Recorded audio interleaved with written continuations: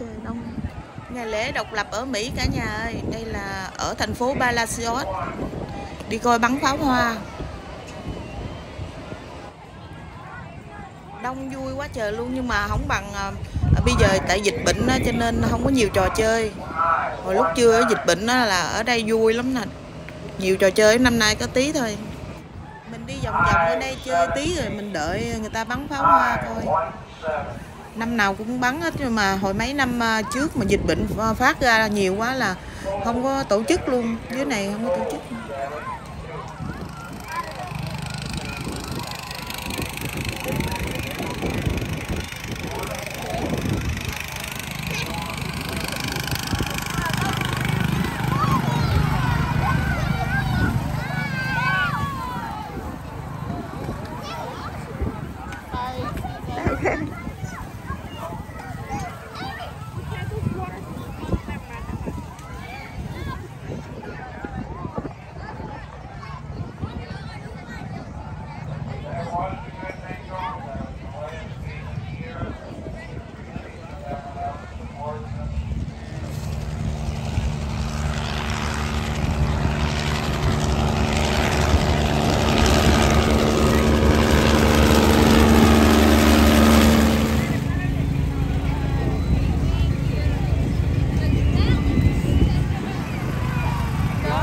Anh mua vé gì á?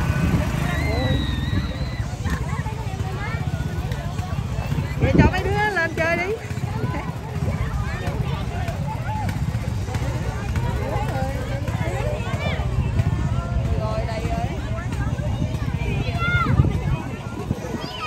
Đầy ờ, đầy người. Năm nay ít trò chơi với nhau nhưng không có gì. Ừ. năm nay quá thì hồi năm ngoái hình như không có tổ chức phải không